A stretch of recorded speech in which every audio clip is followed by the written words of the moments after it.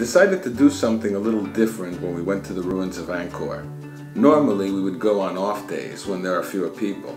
This time around, we chose the most festive period of the Cambodian calendar, Khmer New Year. It's a time when thousands of Cambodians return to their homes to bring in the new year with family, a tradition as old as many of the ruins themselves. Among Cambodians, the great monuments of their ancestors are a big draw, and they flock to these holy places to celebrate. The three-day festival brings life and activity to these long abandoned capitals. Good morning, early morning Cambodia, and this is the main entrance into the temple complex known as Angkor Wat. Angkor is only one of many important temple sites scattered throughout Cambodia and Thailand. To my right, this is part of the outer moat. As great an achievement as the temple city itself, the moat helped isolate Angkor Wat from the invading forest. The moat also served as a catch basin, mitigating the effects of heavy rainfall during the monsoon, helping stabilize the foundation from which it rises. Though it did not entirely escape the ravages of the jungle, it was one of the best preserved monuments when uncovered by the French in the 19th century. Khmer Temple Mountains are architectural representations of Mount Meru, the Mount Olympus of Hindu mythology. The prang, or tower spires, represent its five peaks, the center of the universe, symbolically rising up from the cosmic ocean. Major Angkorian building materials began with timber and brick, later including laterite, sandstone, and the innovative engineering techniques that made these great monuments even possible. The time-weathered brick and stone of these builders are all that remain in most places today.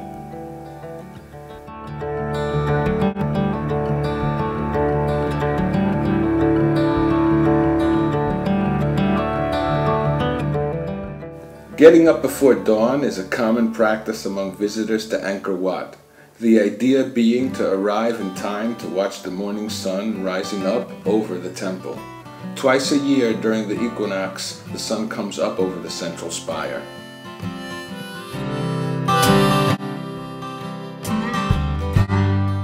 Upon his ascension to the Khmer throne, Suryavarman II ordered the construction of the temple complex that would one day become known as Angkor Wat, the temple city.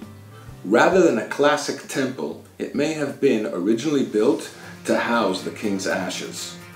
Despite being erected in less than 40 years, however, the king did not live to see its completion. In its heyday, this seat of Angkorian power was the largest city in the world. All located within the Angkor Archaeological Park, the entire area and its countless ruins cover roughly 400 square kilometers.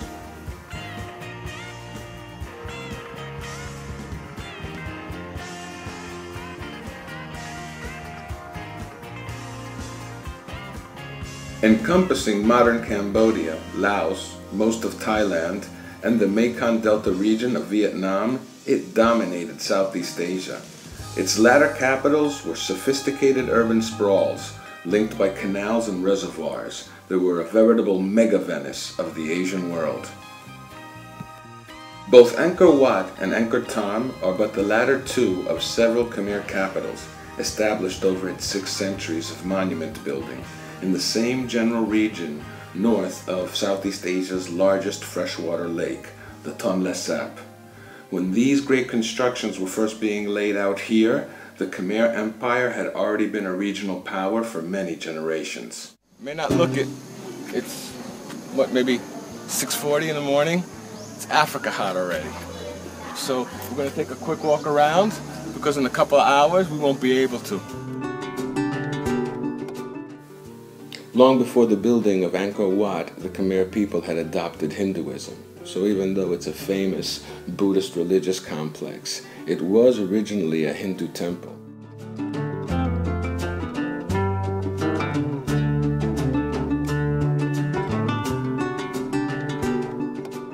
Deviating from previous monarchs, the king dedicated his temple to Vishnu, and the famous bas-reliefs are a great example of this.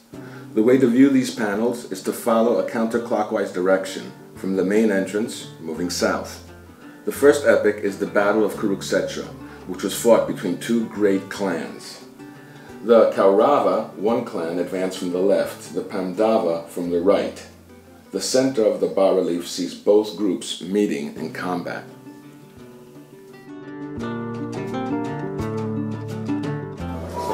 Raja Raja is alive and well here in Cambodia. This outer gallery was accessible to all of the faithful, and save one historical panel, they all display scenes from the Ramayana and the Mahabharata.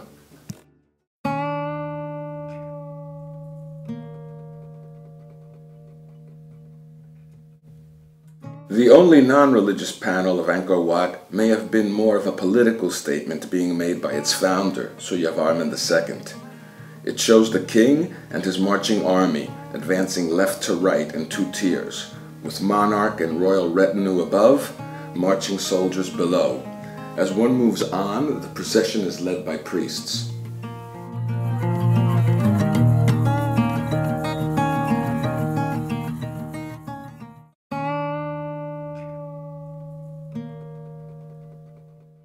This panel stretches 90 meters long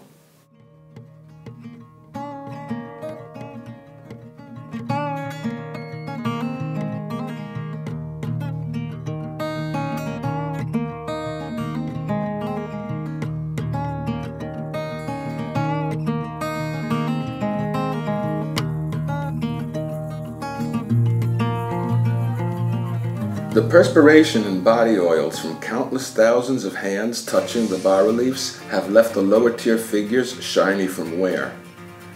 Passing west to east through the southern Gopura, one arrives at the Heaven and Hell Gallery.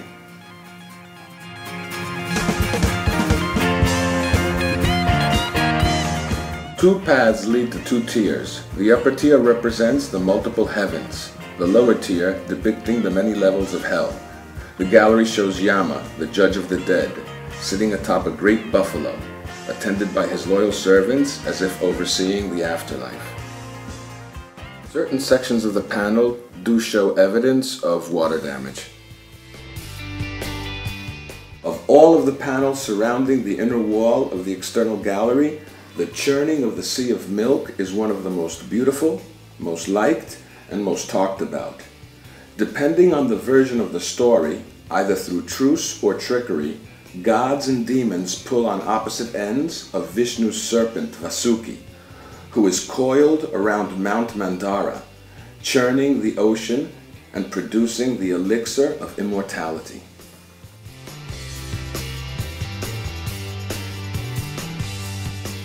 From what I have read, the following gallery of Vishnu conquering the Asuras is often cited as being of poorer quality, with the word rushed often applied.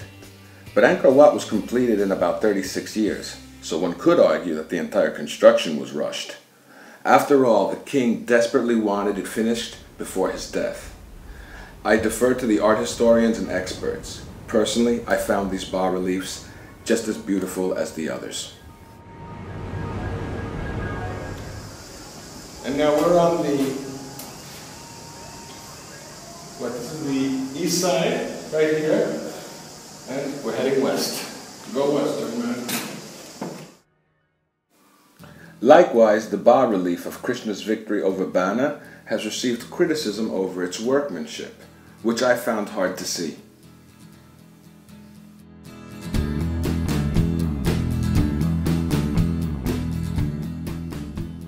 The next to last panel is the Battle of the Gods, a who's who of devas and asuras from the Hindu pantheon engaged in combat, many astride their traditional mounts.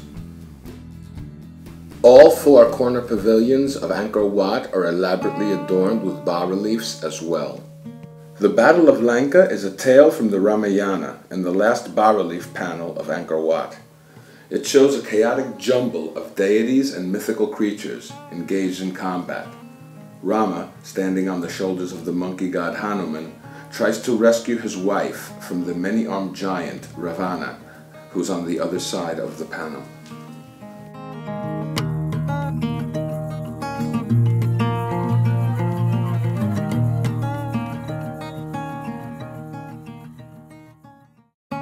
The Gallery of 1000 Buddhas. This is a name it only received after its use had shifted from Hinduism to Buddhism. If one enters Angkor Wat directly through its main entrance, without taking the circuit around the external gallery, one arrives here at a roughly square gallery cloister with four open courtyards, each with what may have been reflecting pools, catch basins, or possibly both.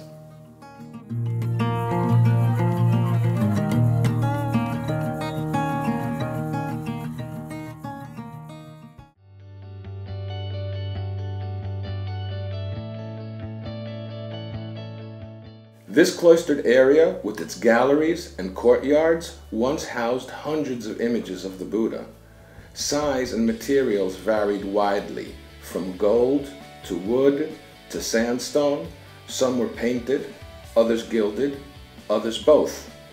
The many that were salvaged are currently displayed at the Angkor National Museum in nearby Siem Reap.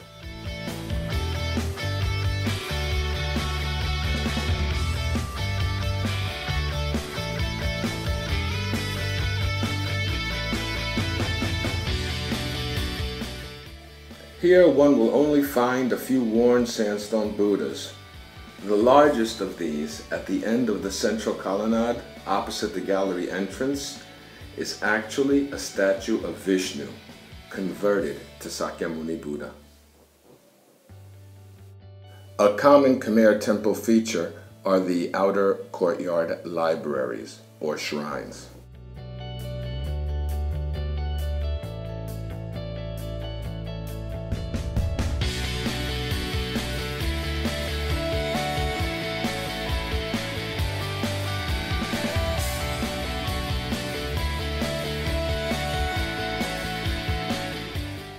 Height of the central tower of the Temple Mountain is deceiving.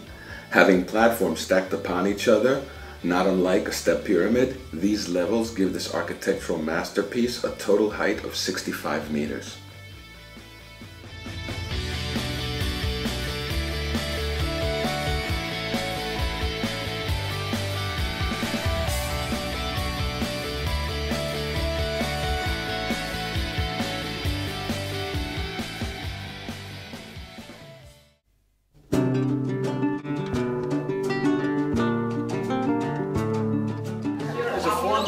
Buttress.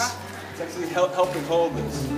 So basically, more or less the same historical period that uh, Europeans were developing the flying buttress to hold cathedrals together. Um, they had these buttresses here to help um, hold in the pressure pulling out from the Temple Mount. That's like a huge sandbox. It's sandstone on the outside, laterite on the inside, and then the interior interior is just packed with uh, sand, from the third level of Angkor Wat, the central spire of Mount Meru rises over 30 meters high. The stones were largely brought in from the Kulen Mountains, the spiritual heartland of the early Khmer, many kilometers to the north. About 30 years after Suryavarman II's death, the Chams from what is today central and southern Vietnam sacked Angkor. A period of restoration was begun by Jayavarman VII, who established a new capital and a new official state temple that we're going to visit now. When we left Angkor Wat, we only had about three kilometers to the southern entrance gatehouse, or Gopura, of Angkor Thom. However, we were in the company of thousands of people, so it took a while. Angkor Thom roughly translates as the greatest city, and passing through one of the Gopura-style city gates, one can imagine why. The laterite city walls are nearly 8 meters high, and its moat is over 100 meters wide.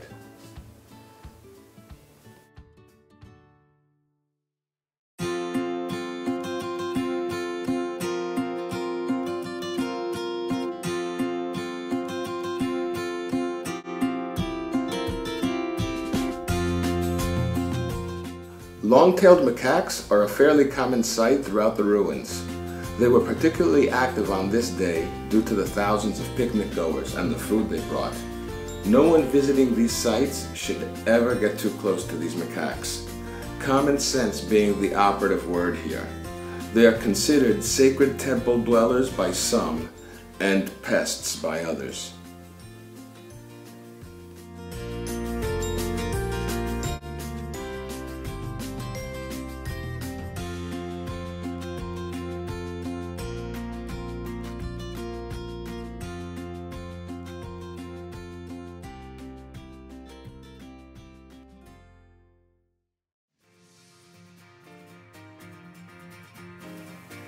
The Bayon was the centerpiece of King Jayavarman VII, a Mahayana Buddhist who ordered its construction as his official state temple. The Bayon is famously adorned with 216 great stone faces of the Bodhisattva Avalokitesvara.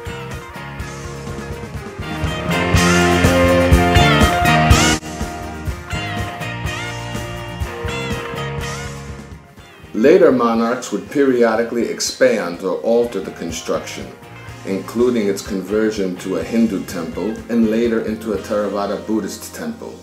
Each time, changes were made.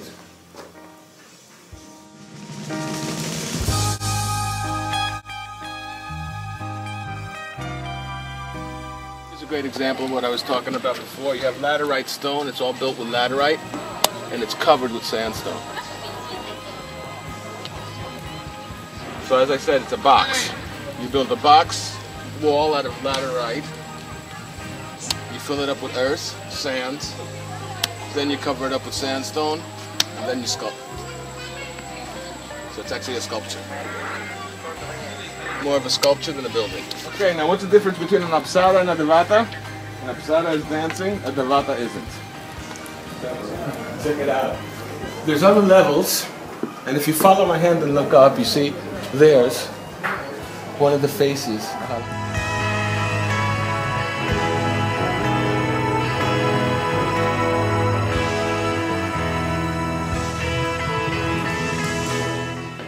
It was hard not to feel like a kid again while moving through the maze of ground level passages. Losing oneself, one could imagine a great archaeological find just around the corner. The courtyards they emptied out into were bright and hot, the passageways dim and cool. This only added to the otherworldly feel of the Bayon's interior.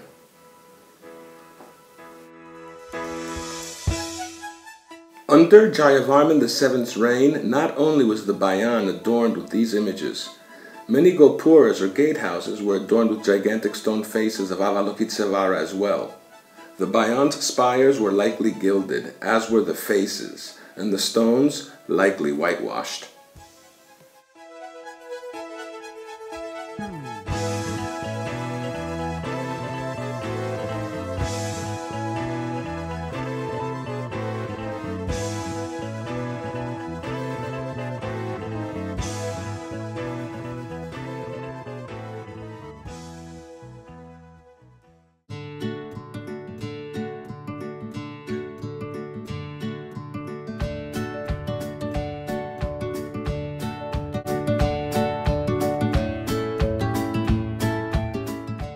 The bas-reliefs of the Bayon are distinct from those of Angkor Wat. These reliefs are a window into the past. Instead of legendary tales from the Ramayana or the Mahabharata or marching armies, they show the day-to-day activities of the realm's subjects. They have proven extremely helpful to scholars studying ancient Khmer culture, economy, and technology.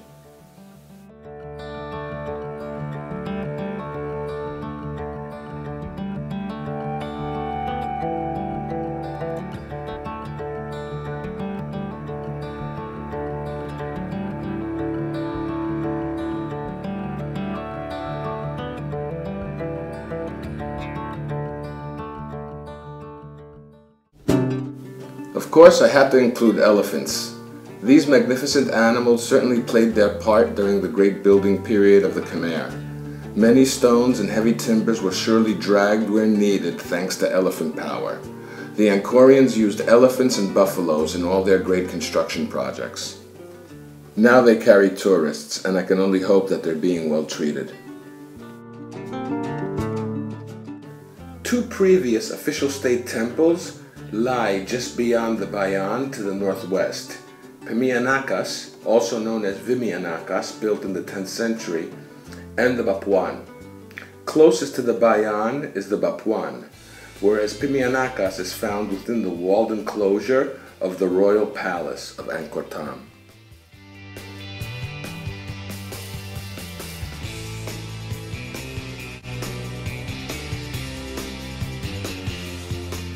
This is the causeway that goes straight to the the Baphuon.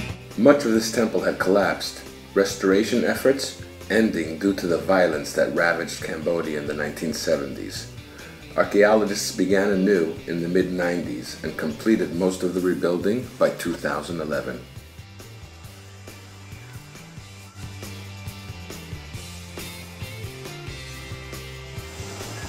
What we're probably looking at is basically one of the world's biggest jigsaw puzzles. Originally dedicated to Shiva, the Baphuon is a three-tiered temple mountain and the model of the Baphuon architectural style. The temple stands 34 meters tall. It was originally bigger, but lost its central spire long ago. The tower that once rose atop it was described in eyewitness accounts as being either golden or bronze. In the late 15th century, the Baphuon was transformed into a Theravada Buddhist temple. This period was when this unfinished reclining Buddha was built along one of the walls of the second tier. It measures an impressive 9 meters high by 70 meters long and gave conservationists a heck of a hard time to reconstruct.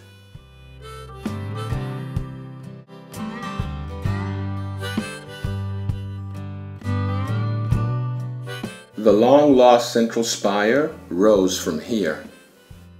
Just as with Angkor Wat, the older Baphuon is a pyramidal representation of Mount Meru, the home of the gods. Sweaty? It's because I am. We just climbed up to the top of Baphuon. The stairs are incredibly steep. We're gonna have to sit down, um, but absolutely beautiful. Look at this. This is one of the earlier Khmer temples from before the Angkor Wat period, before the Bayon. And now it's time to sit down and catch our breath before we continue.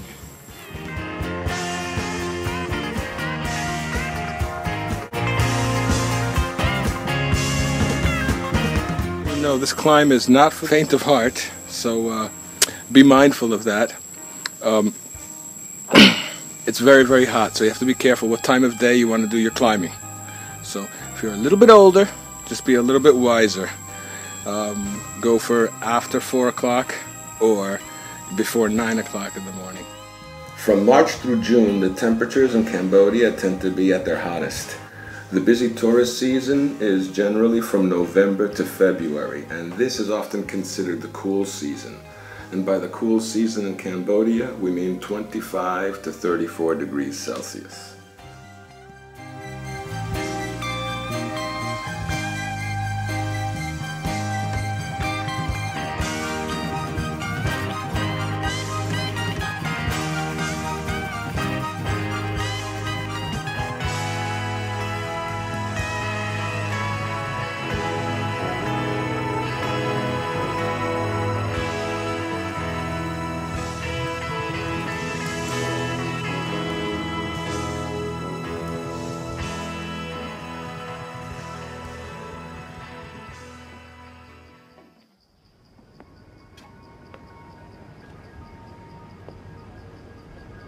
Unfortunately, most of the structures of the walled enclosure of the royal palace are gone, much of it being constructed of timber, for instance the tall koki trees were favored for columns, and other perishable materials.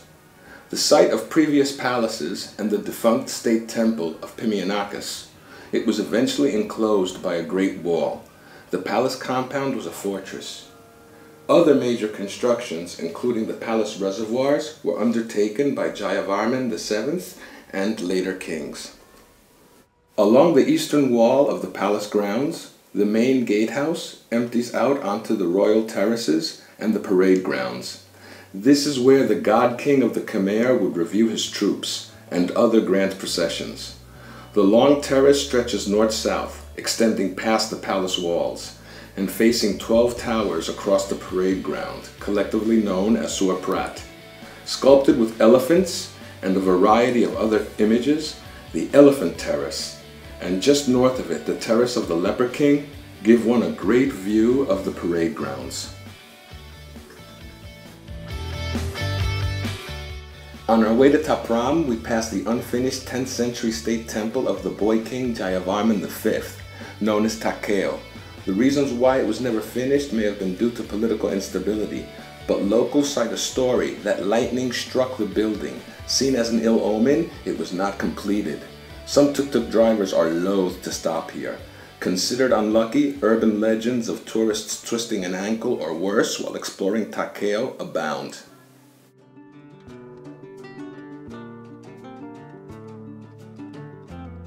gonna enter the Ta Prohm Temple complex. So uh, it's a bit of a walk. Just wanted you guys to see the entrance. One of the entrances. We're gonna shoot in one entrance and shoot out the other on the opposite side, and our uh, our tuk-tuk driver will be waiting for us.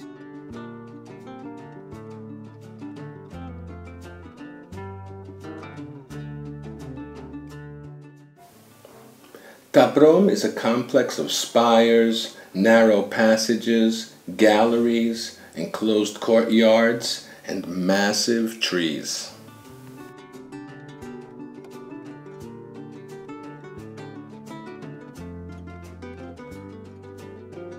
With its numerous structures swallowed by the roots of ficus and silk cotton trees, Ta Prohm is the image that most often comes to mind when thinking of the ruins of Angkor, thanks in part to Hollywood.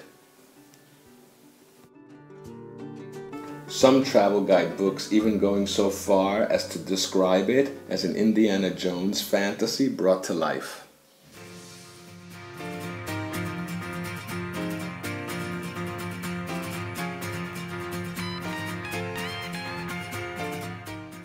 Originally known as Rajavihara, the king's monastery, it was a temple complex built in the same period as the Bayon a Mahayana Buddhist monastery that also served as an important place of learning. Jayavarman VII ordered its construction to honor his family, I am told more specifically in honor of his mother.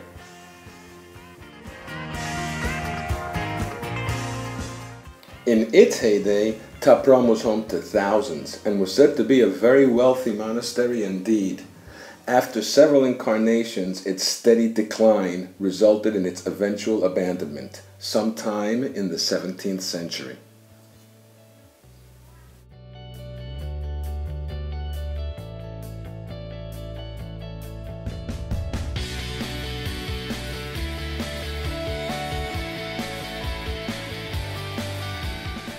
Although in decline for several generations due to various environmental, economic, and political factors, the death knell for Angkor came in the 15th century.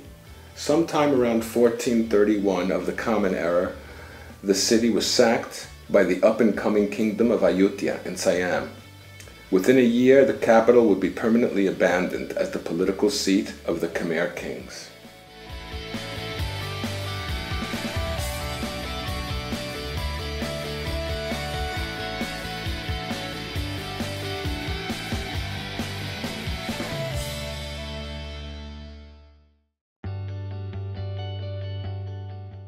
We hope you've enjoyed our Khmer New Year excursion to the ruins of Angkor as much as we have presenting it to you here.